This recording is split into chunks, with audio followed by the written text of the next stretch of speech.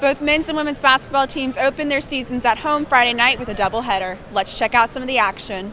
The women's team opened the doubleheader squaring off with Duquesne. Lia Raventos led the charge for the 49ers in the first quarter, forcing five turnovers and eight points.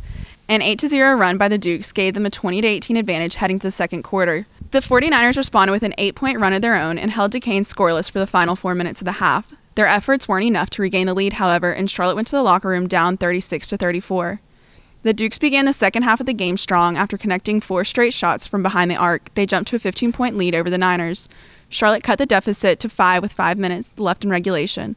Octavia Wilson, in her first game as a Niner, came in a clutch, knocking down multiple shots from the charity stripe, including a shot to send the 49ers to a 69 68 lead. With 52 seconds remaining, the Dukes hit a three to tie the game. Raventos and Amaya Ranson stepped in for the 49ers and collected the 49er win. Charlotte had four players in double digits, led by Naila Jamison Myers with 18 points from the bench. Dara Peterson set a new career high for rebounds with 11 on the night.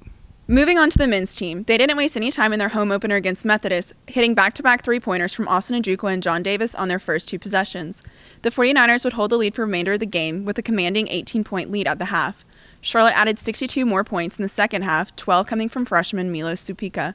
The Niners concluded their home opener with a 40 point victory over the Monarchs. Charlotte was effective basically everywhere on the court, shooting 62.7% from the field, 50% from behind the arc, and 75% from the free throw line.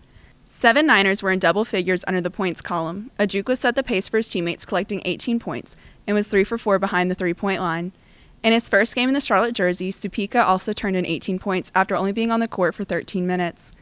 Davis had a well rounded game with 15 points, 8 assists, 5 rebounds, and 3 steals.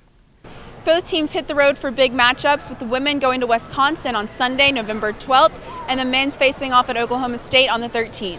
For all of us here at the Niner Times, I'm Kathleen Cook, and we'll see you around.